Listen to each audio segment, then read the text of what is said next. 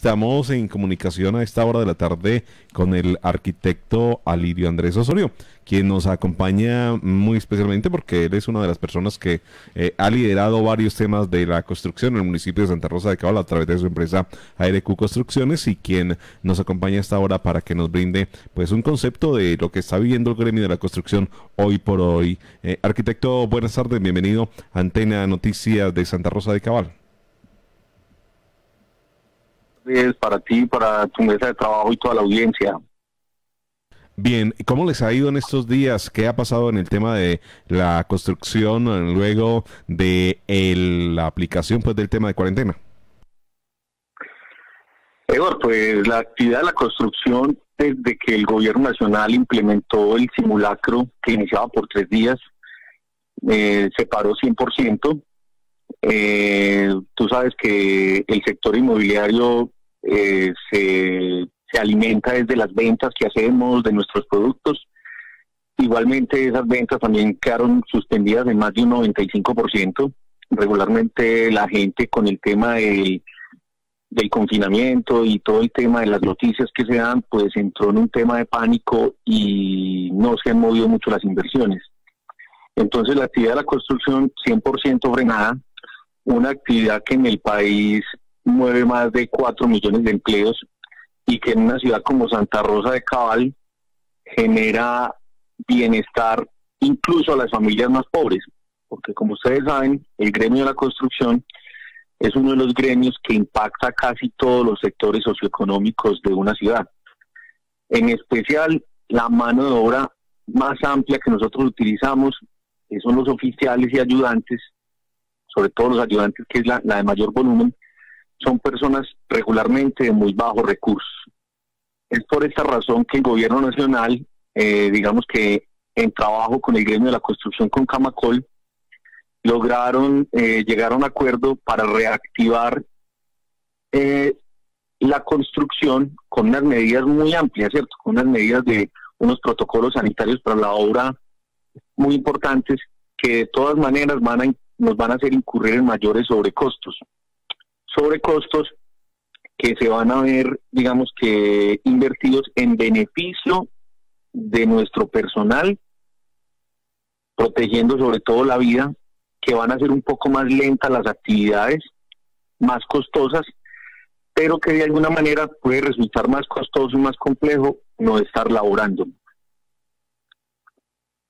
Arquitecto, la, la, pregunta es, ¿a partir del lunes se retoman todos los proyectos que en el caso de ustedes tienen o van a ir poco a poco eh, comenzando a implementar las medidas del gobierno y también a comenzar a mm, traer las provisiones propias pues para este tipo de construcciones?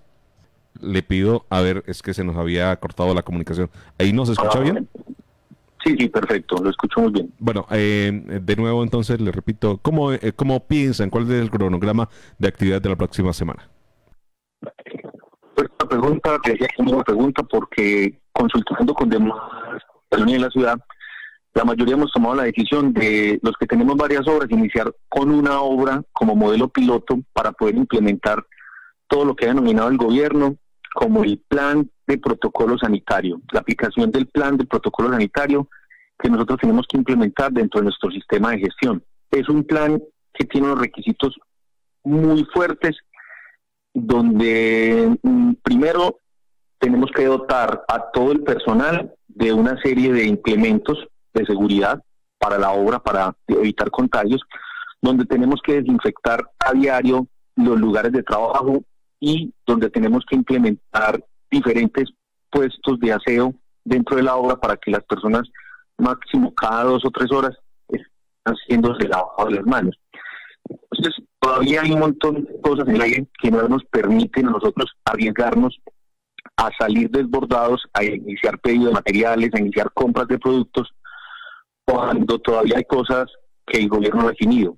retomamos el diálogo que venimos teniendo con el arquitecto Andrés Osorio, quien nos viene contando pues de las eh, normas y medidas que van a implementar el gremio de la construcción a partir del próximo lunes con la flexibilización de las jornadas laborales, especialmente en el tema de construcción y manufacturas. Eh, Arquitecto, de nuevo lo escuchamos, usted nos contaba que algunas empresas estaban comprando cámaras de desinfección, pero parece que una resolución del Ministerio de Salud pues ha dicho que al parecer no está autorizado. Sí, Eduardo, de hecho eso es una de las, de las cosas que nos llevan a tener un poco de timidez para nosotros salir, digamos, de decirlo de esta manera, con todos los fierros a, trabajar, a implementar de nuevo la activación 100% de las obras. Hasta la semana pasada, varias empresas ligadas al, tema de la construcción nos estaban ofreciendo diferentes cabinas de desinfección, porque en otros países se estaban aplicando también.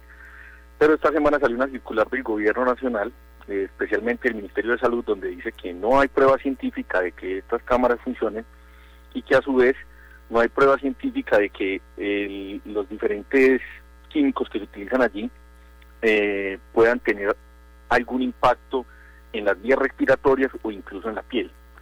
Eh, hay varios hay varios implementos que utilizan para la desinfección que están aprobados para la ropa, para superficies metálicas, para la obra y son especialmente este tipo de, de, de elementos como el amoníaco cuaternario que vamos a empezar a utilizar para los zapatos, para la ropa, para desinfectar las obras todo lo que sucede hoy con el tema de la construcción es básicamente un modelo piloto.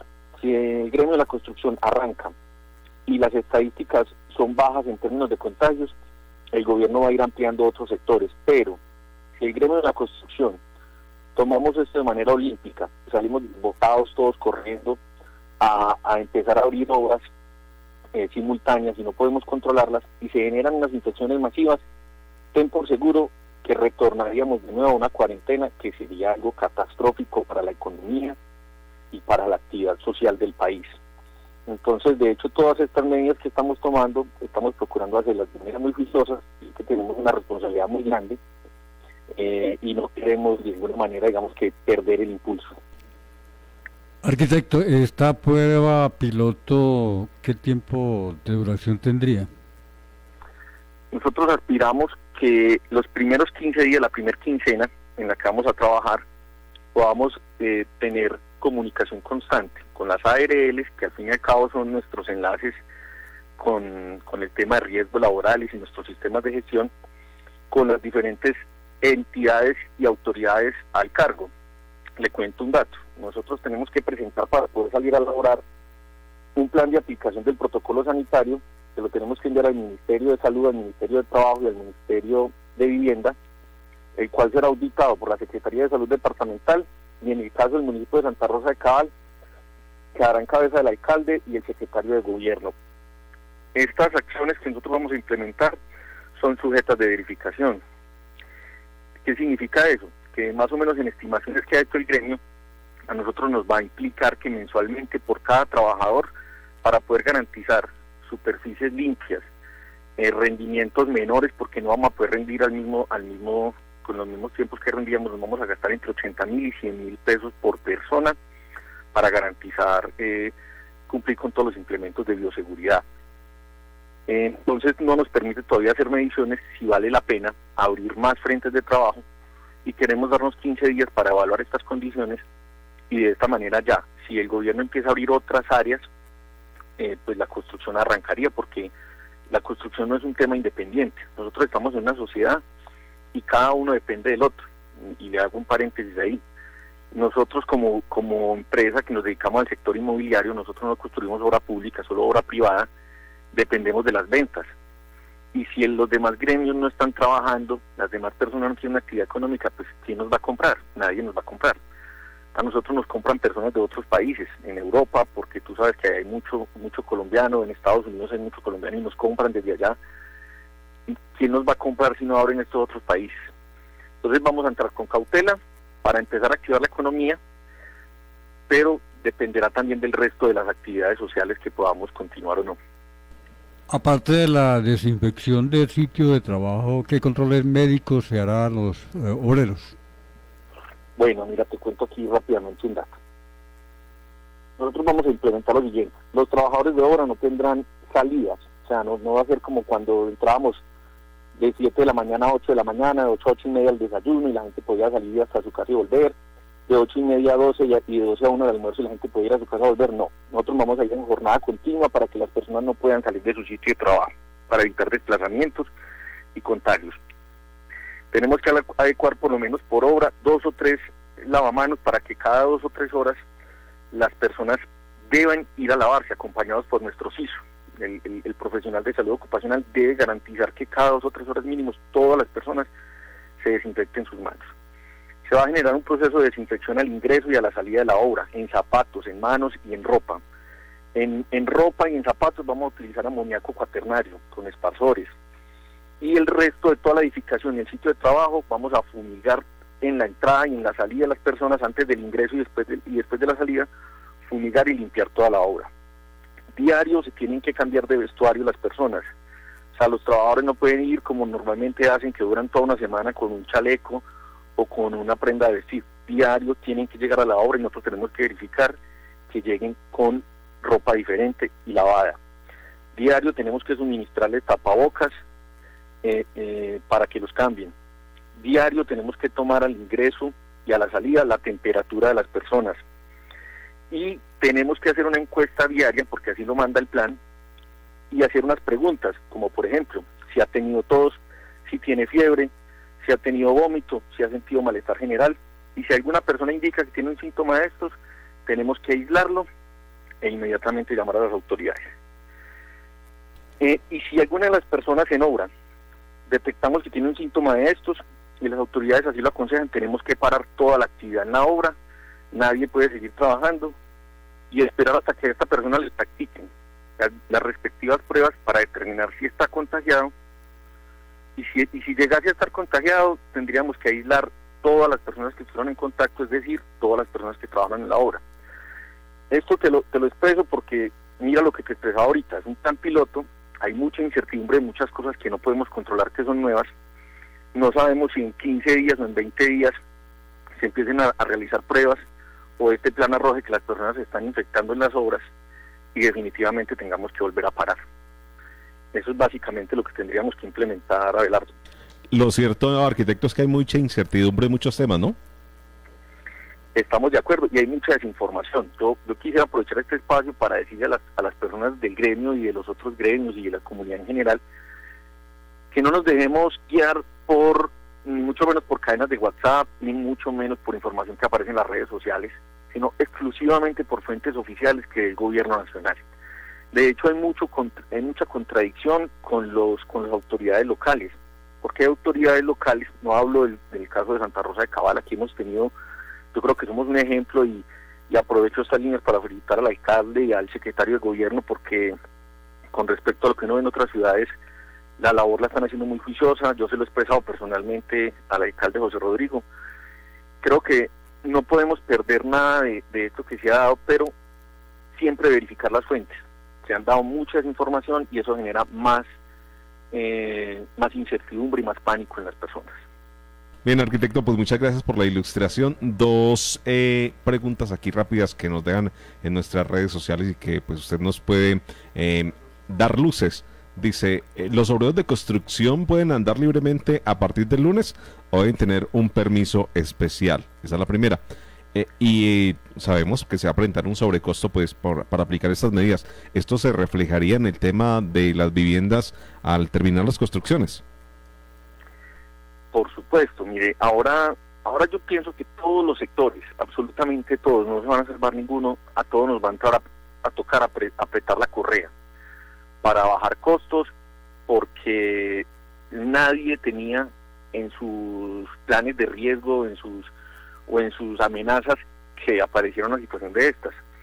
Entonces, hay muchos proyectos que ya están andando que están vendidos. Eso ya es responsabilidad de constructora. Los constructores ahorita nos tocará acarrear con esos costos que se irán a menores utilidades o a pérdidas. Y en las obras nuevas, si los demás gremios no bajan costos, el gobierno no empieza a subsidiar sectores estratégicos de la economía, inevitablemente los costos de venta de metros cuadrados, no solamente de la construcción, sino de, de las diferentes actividades, se va a subir incluso la materia básica, elemental, van a incrementarse, que va a ser, digamos que eso va a ser catastrófico, nosotros nos tenemos que preparar ahorita para, para todas estas situaciones. Y para la otra pregunta, no está dispuesto que las personas puedan andar libremente. De hecho, la situación es la siguiente. Tenemos restricciones fuertes para personas que tengan más de 60 años. Nosotros en nuestro caso, por ejemplo, en la empresa tenemos vinculada a una persona que tiene más de 60 años, es un obrero nuestro, eh, y con él tenemos que tener un tratamiento muy especial. Lo tenemos que tener aislado, no puede circular a más de un kilómetro de distancia donde tengamos la obra. Nosotros, como somos un municipio pequeño, no utilizamos transporte, digamos, en la empresa para transportar a nuestros colaboradores. Entonces les vamos a dar a cada persona la planilla de pago de la seguridad social donde demuestra que están vinculados a la empresa y cada uno con su respectivo carnet. Estos dos implementos serán los que en algún momento, si la autoridad lo requiere y quiere, quiere que manifiesten por qué razón están en la calle, ellos tendrán que, que mostrar este espacio. No nos ha salido todavía ninguna resolución que nos obligue a solicitar un permiso porque quería contarle algo. En todos los medios de comunicación se ha hablado que el 27 de febrero podemos hacer la construcción, pero no existe tal decreto. Estamos a la espera de que hoy o mañana el gobierno nacional saque el decreto donde autoriza el inicio de estas actividades. Y en ese decreto es muy probable que aparezca ya cómo va a ser el manejo ya específico de estas últimas preguntas que tú me hiciste. Arquitecto, muy amable para acompañarnos en esta emisión de noticias y por darnos luces y claridad sobre varios aspectos en el tema de la construcción. Feliz tarde. Muchas gracias, y feliz tarde para todos.